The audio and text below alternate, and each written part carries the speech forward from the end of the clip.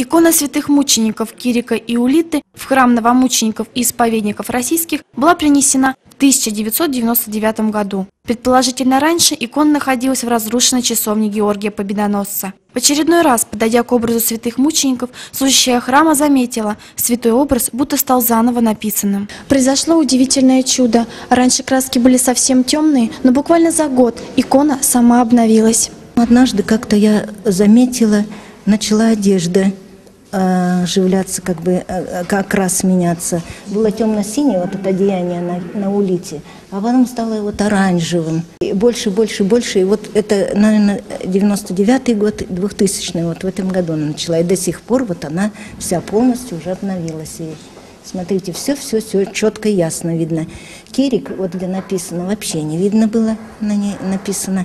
И одеяние, вот это все стерто было. Обновление иконы церковь воспринимает как знак милости Божией, как призыв народа к покаянию и усердной молитве. То, что икона святых мучеников Кирика и Улиты обновилась именно в 2000 году, священнослужители объясняют так. Предполагаю, потому что именно в 2000 году э, было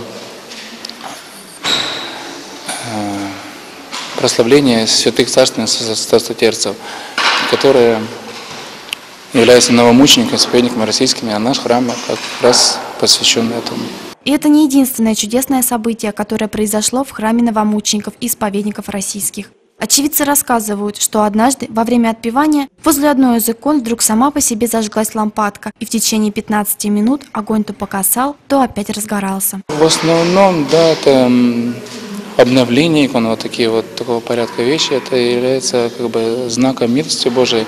Но они предупреждают и призывают нас э, к покаянию, к, очищению наших душ и к усердной молитве. И по сей час святым мученикам Кирику и Улите прихожане молятся о семейном счастье, выздоровлении больных детей и о заступничестве перед Господом. И по вере их воздастся.